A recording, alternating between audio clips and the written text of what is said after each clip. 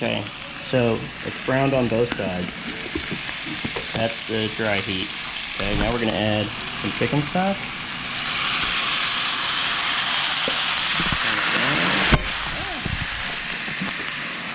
And then I'm gonna put a little heavy cream in there.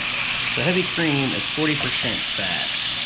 So you can add this to a hot pan and it won't burn. It's not like if you add milk, milk would burn. Bring this up to a simmer.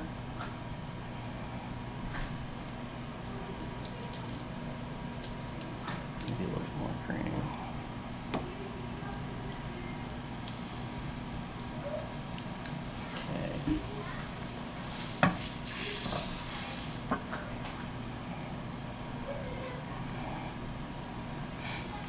Okay. and then you can make you can use you know a bechamel sauce but heavy cream you can just add straight to this and it'll reduce without scorching.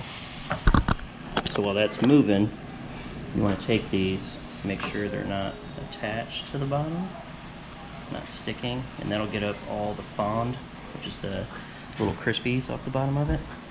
All right so that's coming up to a simmer so i'm going to cover this. We're going to put it in the oven